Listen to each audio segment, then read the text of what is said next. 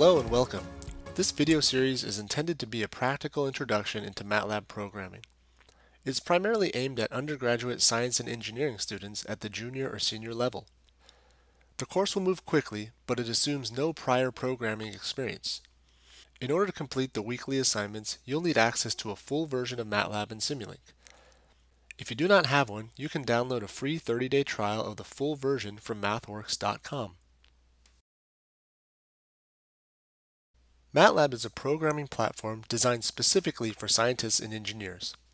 At the heart of MATLAB is the MATLAB language, which is a matrix-based language allowing the most natural expression of computational mathematics.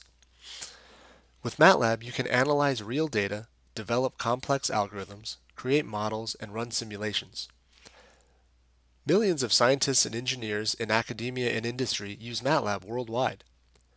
MATLAB is used in a wide range of applications including machine learning, signal processing, image processing, control systems, testing and measurement, computational finance, and computational biology, to name a few. To get started, open the MATLAB environment by double-clicking the MATLAB icon. You'll see that the basic MATLAB interface has four primary components. The command window is an area where you can execute single lines of code. This area is very much like the screen on your calculator. You can enter a command and you can see the result, but then the code is gone. As you begin writing longer chunks of code and wishing to modify your programs, it's helpful to have a place where you can save and edit your code. That's what the editor area is for. This is essentially a text document where you can write your code, save it, and recall it at a later time. This is where you'll be doing most of your programming when using MATLAB. The workspace is where all of your variables are stored. MATLAB has no idea what your variable definitions are until you define them. In other words, if you want to assign the variable a to the value of 10, you must tell it to do so. Notice that you can define variables from the command window or the editor.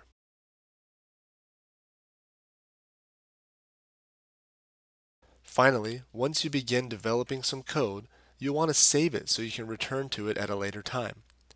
When you save the contents of the editor, you're saving something called an M file. The .m file type is specific to MATLAB and it's the primary file type for storing your code. Notice that when you save an M file, or script, the name of the file appears in the current folder window. The current folder window displays all of the M files currently visible to MATLAB. MATLAB can only work out of one folder at a time, so it's necessary to navigate to the correct path when you open MATLAB. The easiest way to set the proper path is to click the Browse for Folder icon and navigate to the correct folder. This is a useful way to keep your MATLAB code organized by class or by project. Now that we've gone over the basic anatomy of the MATLAB environment, we can start learning some basic operations and functions. The very first thing we can do is to treat MATLAB as a calculator. You can perform basic arithmetic operations as you would on any calculator. For example, in the command window, you can type 1 plus 3 to see that the answer is 4. MATLAB takes into account order of operations, so using parentheses is necessary to separate isolated computations. Notice that 5 times 2 plus 2 is 12, whereas 5 times quantity 2 plus 2 is 20. One of the things that makes MATLAB so powerful is its ease of defining variables. Whereas most programming languages require you to pre-allocate a variable name and data type, MATLAB allows you to define variables in a single line of code. In MATLAB, the equal sign is used to denote variable definitions. In other words, typing a variable name, then equal sign says assign the variable a to whatever comes after the equal sign. In this case, let's just make it equal to 5. Notice once you execute this code, the variable a appears in the workspace as you defined it. It's important to remember that MATLAB only understands the variables that you define. If you define another variable b equal to 6, then I can ask MATLAB, what's the sum of a and b? However, if I ask MATLAB to give me the sum of a, b, and c, I'll get an error because the variable c isn't defined.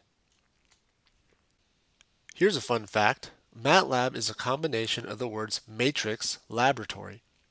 I mention this because nearly everything in MATLAB is considered to be a matrix. Notice the symbols for the variables a and b in the workspace. It looks like a window, but it's actually the symbol for a 2 by 2 matrix. MATLAB leverages the power of matrix manipulations to perform efficient computations. Defining arrays and matrices in MATLAB is easy. I can define a 1 by n array or vector using the same equal sign notation that I use for the definitions of a and b, only for an array or a matrix, you simply have to use square brackets. Let's define a 1 by 5 vector called v by typing v equals square bracket 1 space 2 space 3 space 4 space 5 close square bracket. Now in the workspace, the vector v appears with the same symbol as the scalar values a and b, but with different dimensions. Notice if we define a much longer vector y, the actual value of the variable is no longer shown in the workspace because there's not enough space to display the whole thing. Instead, it shows as a 1 by 12 double, where double just refers to the default data type, which is double precision floating point. Again, a lot of this underlying information is masked by MATLAB in order to make the language more user-friendly. MATLAB also contains many hundreds of built-in functions and variables. In other words, the variables for pi and the imaginary number, for example, are already built into MATLAB. Basic functions are already programmed and ready for use as well. Taking the square root of a value or computing the sine of an angle is straightforward. Time functions are easily defined in MATLAB as well. The colon operator serves a few purposes in MATLAB and is very useful when defining long functions. The colon operator is useful here as it allows you to define an increment or spacing of a vector. We can define a time vector t from 0 to 10 seconds in increments of every tenth of a second. In other words, it's a vector ranging from this value to this value in increments of the middle value. With the time vector defined, we can now define a function of that time vector. For example, x equals sine of t will return a vector of the same dimensions as t and representing the sine of the input argument. If you have two vectors of the same length, you can easily plot them against one another to see the result. The function we're using here is a plot function which requires two arguments, the independent argument first, which is time, then the dependent argument second, which is the sine function. Unlike many other software programs, the help function in MATLAB is extremely useful. If you're curious about how to use a particular function, you can type help and then the name of the function in the command window you'll see a very detailed document of what the function is for and how to use it. Many functions in MATLAB can be used in different ways, so the help menu is extremely valuable when figuring out the particular syntax. Syntax, by the way, is simply the specific way to type out the code so that the program can recognize it. For example, if we look at the help menu for the plot function, we can see the many different options available to us for visualizing our data. According to this help menu, there's an option called a string specifier, which allows us to change the line color and line type of our data by using a third argument in the function. An argument is simply the input to a particular built-in function. In this instance, we use three arguments for the plot function, the time vector, the sine function, and now the third argument, which is a string specifier to change the appearance of the plot. We'll cover plotting in much greater detail at a later time. For now, I want to give you a few more basic operations you can do in MATLAB to get started. Defining a matrix is a skill required to be proficient in MATLAB. Fortunately, defining matrices is nearly as simple as defining a constant or a vector. You'll again use the equal sign and square brackets, with the only difference being that the rows of a matrix are defined by the semicolon operator. Once we define a matrix, we can begin to learn how to manipulate it. Notice that when I type A of 3, 4, I get the 3, 4 element of the matrix A. In other words, the third row, fourth column. Now if I use what I know about the equal sign, I can redefine the 3, 4 element of the matrix A to be a different value. Notice the syntax. A parentheses 3 comma 4 really means that the first argument represents the rows and the second argument represents the columns. Thus, I can change the third row and fifth column to a different value by using the same syntax. A neat way to do the same thing here is to use the end function. End in MATLAB refers to the last element. If I use end in the rows argument, it refers to a value of 3 because there's 3 rows. But if I use the end function in the columns argument, it refers to a value of 5 because there are 5 columns in the matrix A. This is useful when the matrix size is either very large or of unknown size. The colon operator and the vector notation also works within the matrix arguments. For example, if I want to change the first and third rows all to a value of 0, I can use the following syntax. In this piece of code, the first argument is now a vector containing values 1 and 3. The second argument, again referring to the columns, is the colon operator, which just means all or every. By executing this code, you can see that the first and third rows and all columns have been changed to a value of 0. The last couple of things I want to cover in this video refer to general practices when writing scripts or M files. When you run a script by pressing the play button, MATLAB executes each line of code sequentially as it goes down the M file. In other words, line 1 is completely executed before line 2, and so on. Writing our code with this in mind, we can begin to construct more complex programs that do several tasks very quickly. For example, we can create a plot of cosine of t and execute all of the required lines of code by simply running the script. First, we'll define the time vector as we've already done.